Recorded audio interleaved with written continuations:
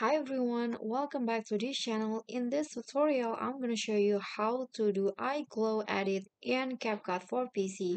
So here I've already add a video on CapCut and I, I want to add the light uh, overlay and I want to make it uh, do uh, the eye glow effects by adding this light uh blue light here or you can just choose any color. And I save it as PNG so that it doesn't have the background and it made you easier. Uh, by the way I got this picture from Canva but you can also search it on Google or any other uh, free pictures uh, that you can download okay? So I'm going to add this to track and I want to make it as overlay like this and then I'm going to okay so here is the first one. I'm going to make it smaller. So it fits with the eye so you can just drag it and adjust the position like this. And here I'm going to okay I'm going to just go with normal but I'm going to adjust the opacity like this. And if it moves like this you can just use keyframe to make it okay I'm going to add a keyframe here in the position. And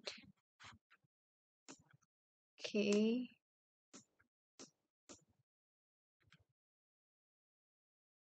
okay in here I'm going to move it like this so that it follows the eyes and you can move forward and change the position again like this and then move forward again and change the position again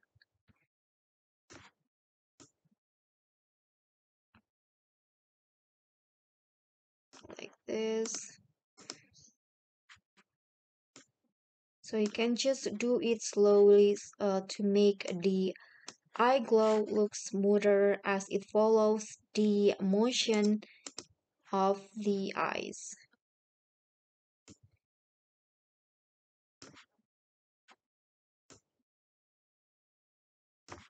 Like this let's see from the start.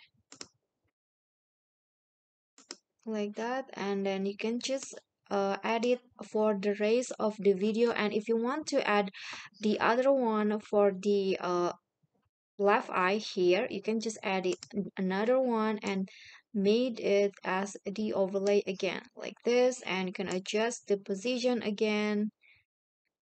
Place it in the other eye like this and adjust the opacity. So I'm going okay the first one is 18 to 82 so I'm going to just do the same like that.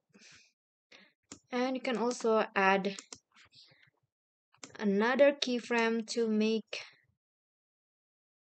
okay I'm going to go with like this